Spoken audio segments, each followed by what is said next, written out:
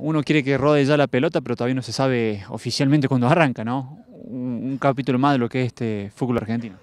Sí, sí, obviamente, creo estamos ansiosos porque empiece el torneo, pero bueno, como dijiste vos, no se sabe la fecha, así que bueno, vamos a aprovechar lo amistoso que tenemos ahora para, para ir conociendo el equipo y para ir conociéndonos más nosotros, ¿no? ¿Cómo te vas sintiendo vos? Bien, bien, en lo personal bien, bueno, Franco me estuvo utilizando en el, en el esquema que a mí me gusta, el que juego siempre, así que bueno, de a poco me estoy sintiendo cómodo, conociendo a los compañeros y bueno, hoy hemos hecho los primeros 60 minutos, así que bueno, nos falta rodaje, ¿no? Para ir incorporándonos más todo al equipo, ¿no?